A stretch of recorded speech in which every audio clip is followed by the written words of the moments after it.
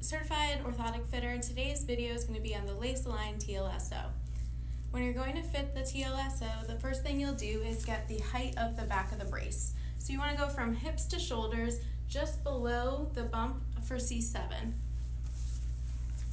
So hips, and then the notch of the strap should be just below C7. Next we'll open up the brace and feed arms through first.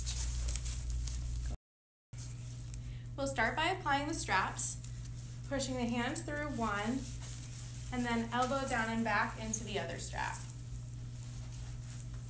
From there, we'll bring the waist strap around so that the two circles meet in the center.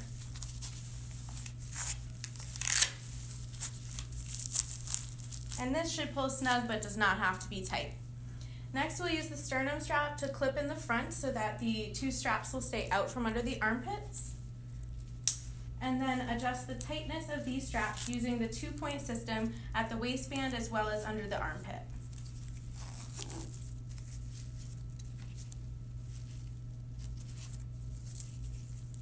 You turn toward me. Okay.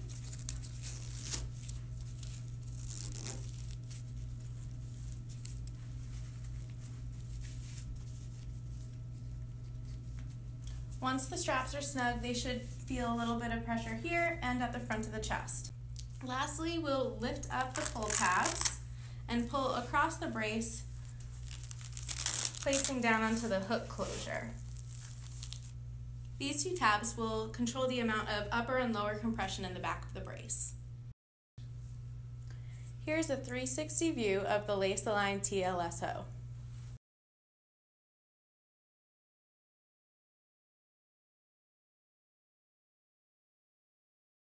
Here's a view of the patient applying the brace on their own. We'll start by putting both straps on their shoulders. Next, pulling around the waist straps. They can use the two loops to cross in front of the belly, having both circles meet in the center. Next, she'll tug down on both shoulder straps so that they are snug against her shoulders and use the strap across the sternum to pull them away from the armpit.